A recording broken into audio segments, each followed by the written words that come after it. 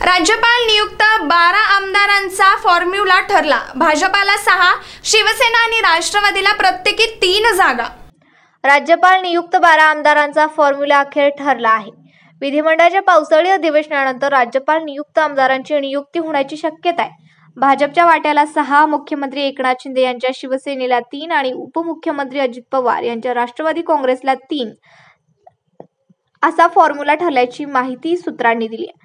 अधिवेशनानंतर तिन्ही नेत्यांमध्ये चर्चा झाल्यानंतर राज्यपालांना यादी पाठवली जाणार आहे असंही सूत्रांनी सांगितलंय. राज्यात ठाकरे सरकार असताना राज्यपाल नियुक्त बारा आमदारांचा मुद्दा चांगलाच गाजला होता. महाविकास आघाडी सरकारच्या कार्यकाळात शेवटपर्यंत माजी राज्यपाल भगतसिंग कोश्यारी यांनी ठाकरे सरकारने दिलेली नावे मंजूर केली नव्हती यावरून राजकारणही रंगलं होतं.